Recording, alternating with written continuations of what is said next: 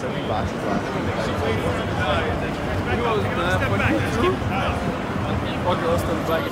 Even with all that, still grab the pair.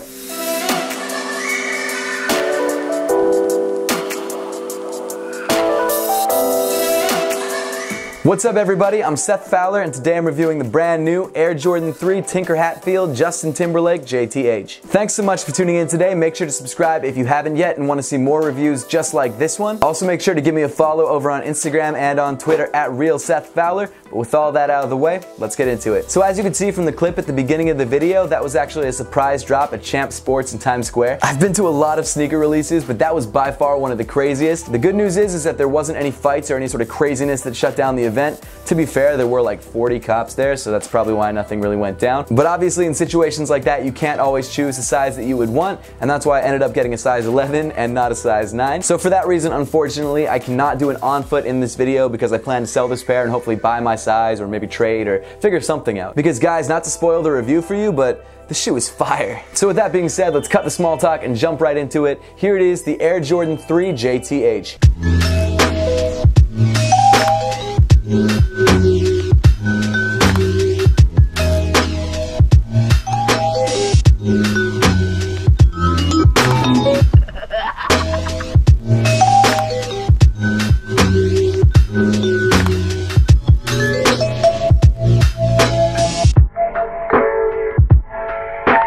I'm a huge fan of the Air Jordan 3, and of course I'm a huge fan of the black cement and white cement colorways. So even before we get into the little details, the quality, it's already stepping out in the right foot because it's essentially a white cement 3. The shoe is fire.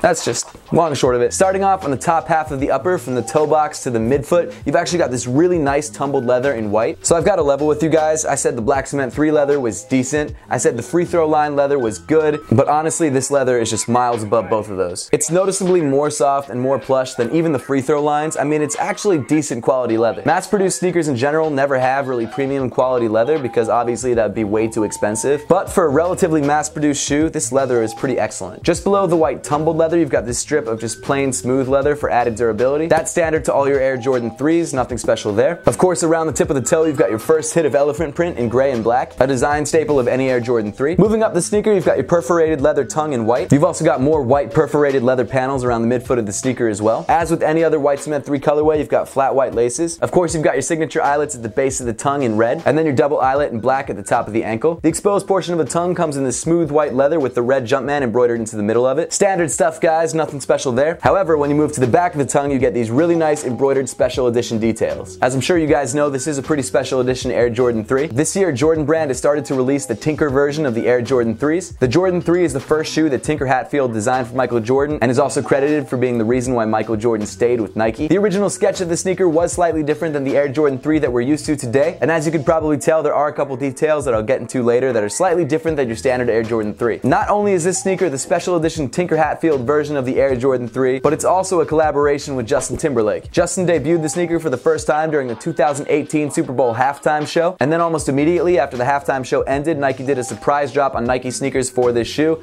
and of course I missed out. However, Nike is doing special limited drops along Justin Timberlake's tour, like the one I grabbed this shoe from. So if you missed out and you're in a large city that Justin's gonna tour, you might still have a chance.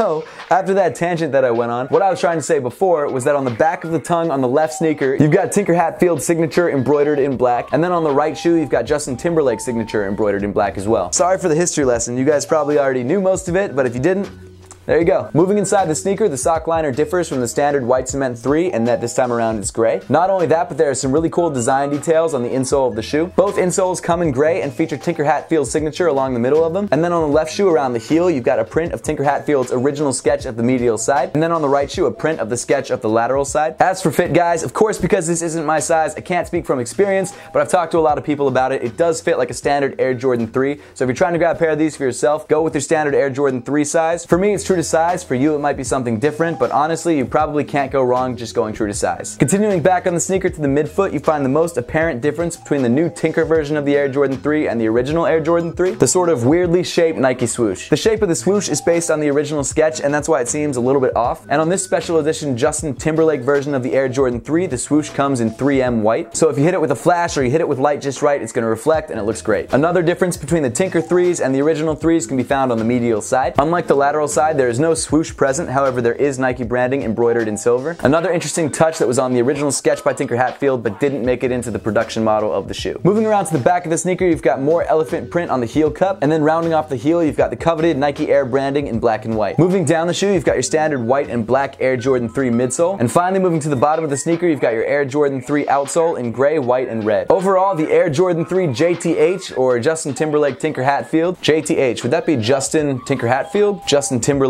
Hatfield? I don't know.